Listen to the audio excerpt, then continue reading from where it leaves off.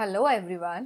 Welcome to day 1 of the webinar series Basic on transforming teaching learning process using ICT tools organized by IQAC PGDAV College, University of Delhi.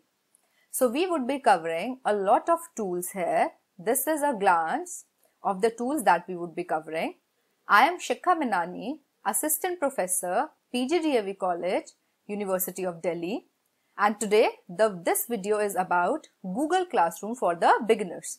I know that many of you are already aware about this. So if you think that you know the basic nitty-gritties of Google Classroom, then you can also skip this video and you can move on to video number 2. The, what are the benefits of Google, using Google Classroom? Why do we need it in this pandemic time or while conducting the flipped classrooms? Because it helps in creating an online class with all our students. We can share material, videos and other content and that can also be saved for future in our Google Drive so that we can reuse it for the other classes that we may have later on.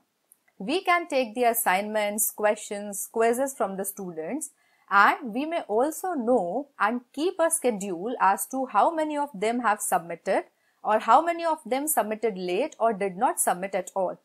We can pre-schedule all our material assignments and tests and we can also link our Google Classroom with the Google Meet and we can schedule our live lectures with our students.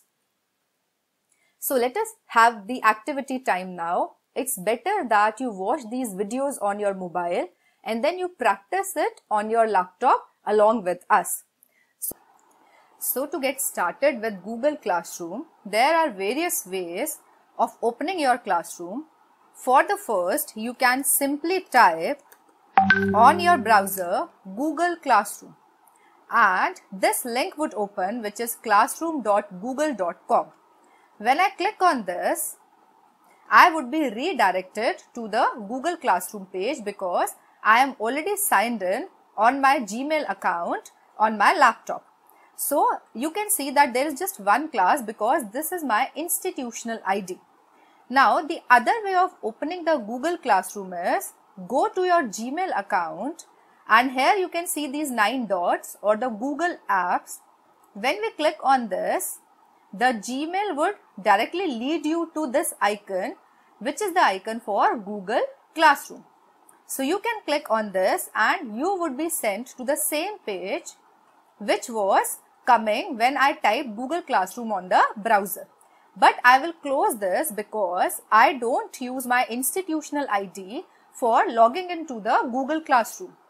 Now, I will take you to my personal Gmail and here I'll again take you to the Google Classroom. Now, why I am using my personal Gmail account is that uh, sometimes there is a problem if we are using the institutional ID and creating our Google Classroom, then some participants they face the difficulty and they are not able to join the Google Classroom.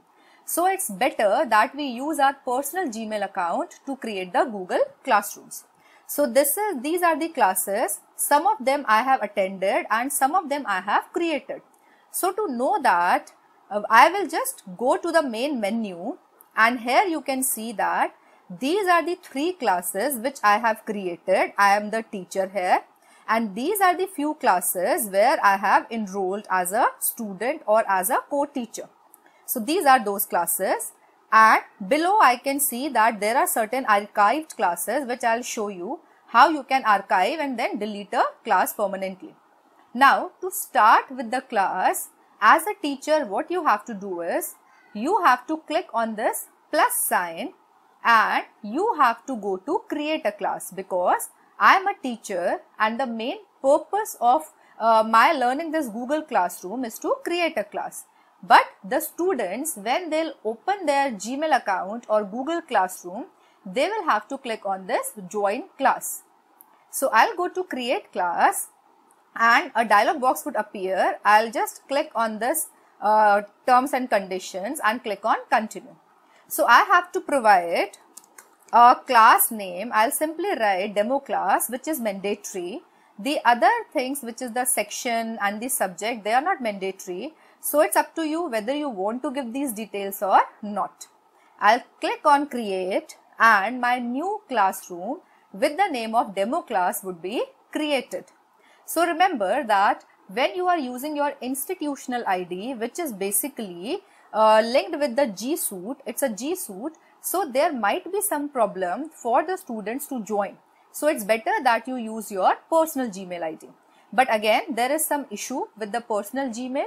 The number of students are limited to 250 students per class but with the institutional ID or the G Suite, the number of students can be up to 1000.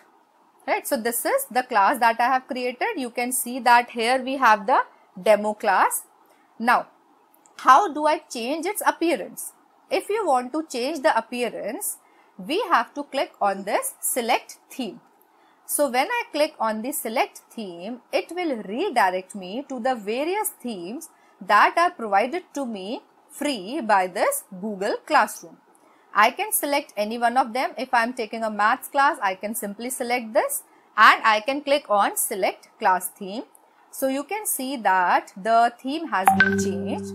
You can also upload a photo. So if I want, I have the photo of all my students and I want to upload that. So you can click on upload photo and then that photo can be browsed from your device and can be put in here. Now let us understand these four tabs that we have. The first is the stream tab, then we have the classwork, we have people and we have marks. Now, when you are using G Suite, then instead of marks, you would find grade written over there. So, it doesn't matter, they are all synonymous. Now, what is this stream? This stream is just like when we uh, go to the social media, we have the uh, Facebook and Instagram. So, whatever notifications are coming, whatever is happening is coming onto your Facebook or Insta page.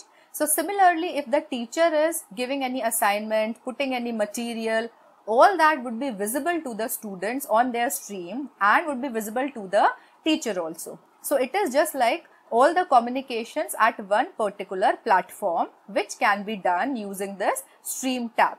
Let us get started with it and see how we can make use of this. So for this, I will write here welcome because I have just started the class and you can see that there are two boxes here. It asks me with which classes I want to share this particular message. So I can either share it with demo class or the other three classes to which I am the teacher. I cannot share it with the classes which I have joined as a student but I can share this message with the other classes also in which I am the teacher. So I can select that by default it is this particular class which is demo class. I can also decide to which students it should be visible. Right now there are no student in this particular class but otherwise if there would have been like uh, 50 students so I can select the 10 students to whom I want to share a particular assignment. So it helps me in deciding or assigning some projects to a particular group of students. Now, if I come below, I can see here is this poster. Now, this particular message can be either saved as a draft and it can be used later on or I can schedule it. Suppose I know that the session is going to start from 16th of August. So what I can do is I can schedule it right now. I can click on schedule and I can mention the date as uh, 16th or 17th of August for a particular time and then on that particular date this message would be automatically sent to the students because I have scheduled it. If I want to post it right now I will just click on post and this message would be visible to the students. But if I have scheduled it then the message would be visible to the students only after that particular date. So this was about the stream tab. On this left side you can see upcoming. So we will learn later on that if we are giving any assignment to the students and it has a particular due date then all that would be coming here so that students know that the due date is approaching and they can complete their assignment. So it is like uh, basically what do you call that? It is like a sticky note for the students so that they remember that this work has to be done by them. Now the other important thing in the classroom is how do you make your students join your classroom. So for that I will go to this people tab and we can see that we have two things. We have teachers and we have students. In the teachers, my name is already there because I have created this class. I can also invite my fellow teachers if I want or if I am sharing a particular subject with any other teacher, then I can click on this plus sign and I can type the name of some other teacher and I can send them the invite. So what will happen is the other teacher would also act as a co-teacher for my this particular class and they can do all the things which a teacher can do except archiving or removing the class. So this is the benefit. To add the teachers we can only use the email ID right? But if you want to add the students you have two options.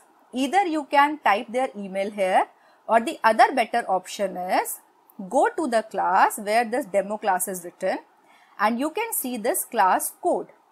Click on this square which is drawn and you can see this code. Just copy this and you can send it to your students via WhatsApp and just by clicking on that plus sign and clicking on join by typing this code the students would be able to join your demo class. So this is how you can make your co-teachers and your students join this particular class and you can be engaged with the learning mechanism. In the second video, we'll see how we can create various topics, material, assignment, quizzes and how we can grade it. Thank you so much.